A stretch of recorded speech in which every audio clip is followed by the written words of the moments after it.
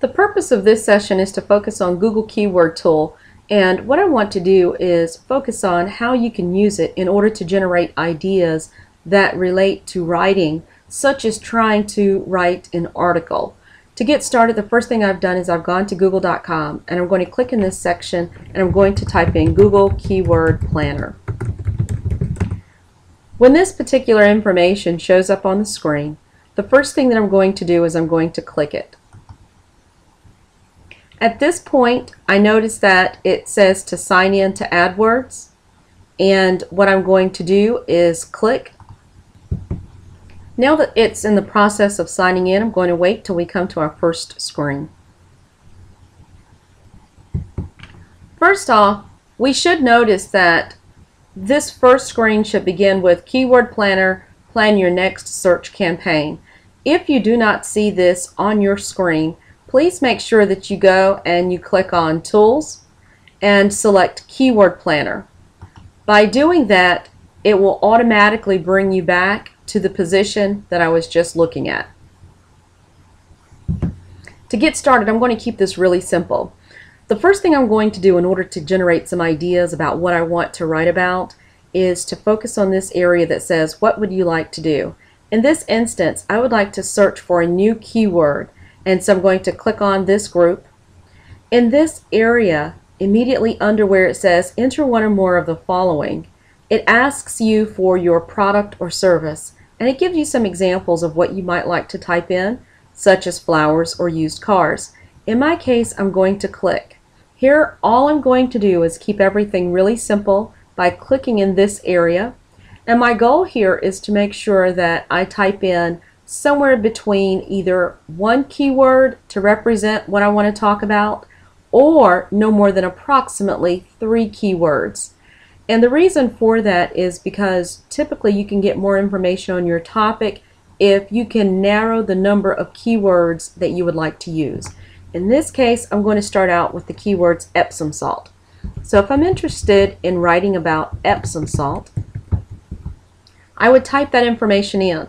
To get started, all I would do is scroll down and I'm going to keep all the other defaults that show up on the screen and I'm going to move down until I see this blue button that says Get Ideas.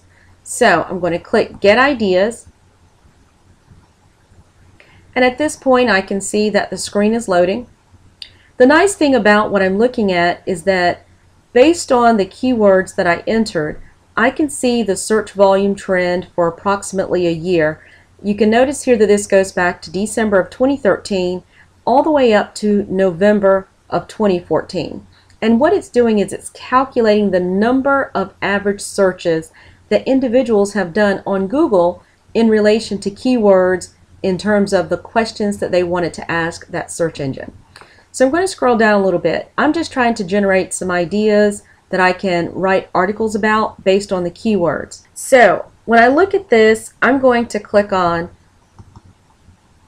sort by average monthly searches because I want to see what keywords were actually searched for the most.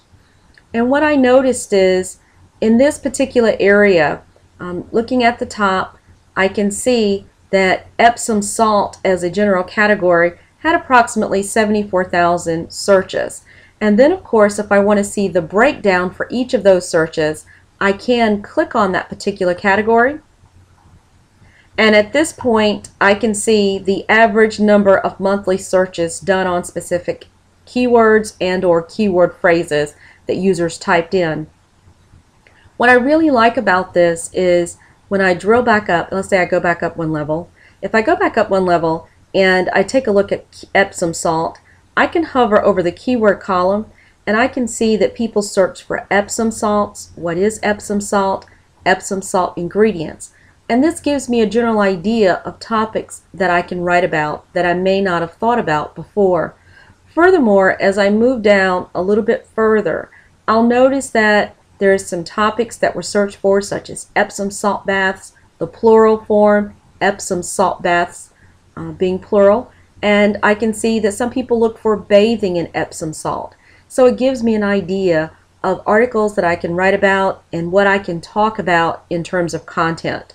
But if I wanted to take a look at specific phrases without hovering over the keyword column, what I recommend here is to just click on Epsom salt and then just start looking to see what kind of ideas could you get, what kind of topics could you actually search for based on the terms that are showing up in this area. Furthermore, you'll notice that I'm only looking at 15 results and so I can actually download the keyword list by going up one more level.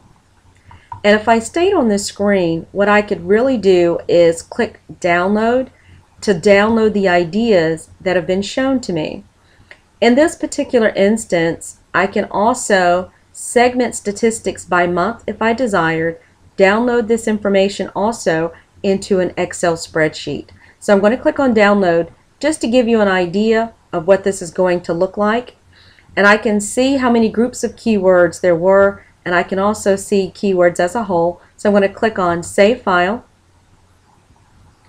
And in this instance, when it actually comes up on the screen, I'm going to put it on the desktop.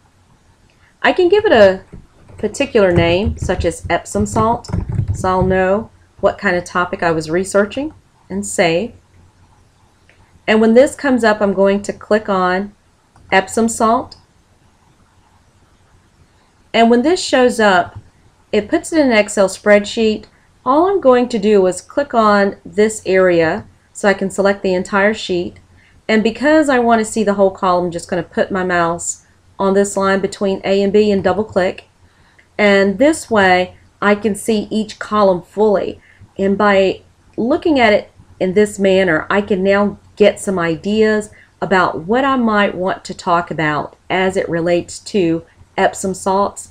And another good thing is I can determine what articles I desire to discuss.